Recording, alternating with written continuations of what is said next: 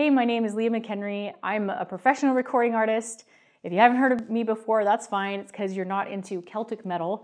Uh, that's my micro niche. A lot of people don't know that there is such a thing as a micro niche. My whole philosophy with my music is I stopped trying to get famous and appealing to the whole world, and I really just dug in deep into my niche. I just went deeper. And so instead of being a little fish in a big, huge pond full of other fish, I decided I would be the big fish in a much smaller pond. In the same way that I don't really know the up and coming artists in the country music scene, because I don't listen to country music, you may not have heard of me in that way.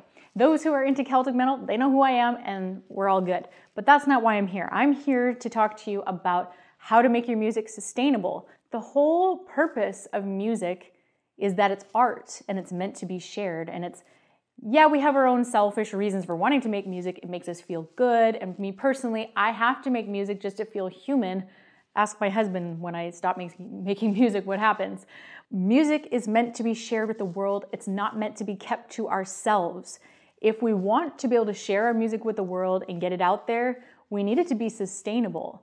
And you and I both know how difficult and challenging that's become over the recent years with, you know, starting with Napster and then streaming and everybody, Spotify and all of that, it's been very frustrating. You know, it's like, how are we supposed to keep making music when it's so hard to even like make it profitable? Like, how are we supposed to get it out there? How do we find our fan base and all of that? There's all kinds of weird things out there promising results, but I want to show you how I've made it sustainable. I have a very thriving music career. Uh, teaching you what I know is one of the ways I make my income, but it's really just a passion thing on the side. My goal is to change the world.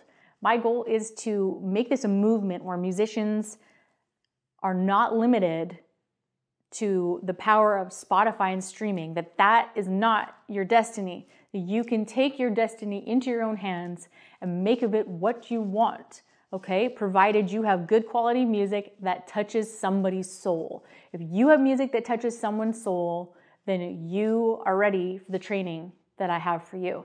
I want to teach you the sustainable music map. This is just an identity thing where you can determine where you are. Most people are right here and they're floundering around in the middle of the ocean and they have no plan and they have no way to know what the next step is. They have no compass. And they think that some search and rescue boat is just going to come and discover them in the middle of the ocean, and they're not. That's not how it works. Um, this is the first stage and the first step that I used in my music career. It all starts with quality music, and there's several things here. Quality music and determining your micro niche is the very foundation upon which you will build your house to a sustainable music career.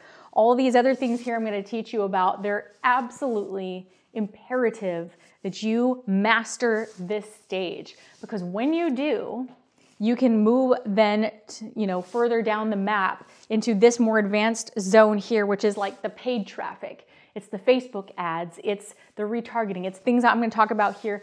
95% of musicians are not ready for this. They haven't even mastered quality music yet. They haven't even mastered that. And then they're wondering why they're struggling.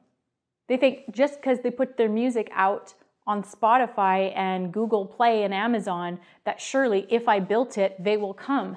That's not how it works. That's not how this music industry works anymore. People are whining and complaining. They think that this is the worst time in music history for the artist and the musician. And I'm just like, you have no idea. This is the most amazing thing that has ever happened to us, ever. I'm a stay at home mom. I have five kids. I homeschool. And I have built myself a sustainable music career. And I'm not talking about teaching you this stuff, I'm talking about my actual music career. I'm so excited to be able to share this and teach this to you. This is a free training I'm giving. My intention here is to change the world. I want this to be a movement that's empowering for musicians. So I hope you'll come with me. I'd love to share my knowledge with you, everything I've learned as a musician, as a recording artist that is making it and as a savvy businesswoman too. So I hope that you will join me and I'd love to share my knowledge with you.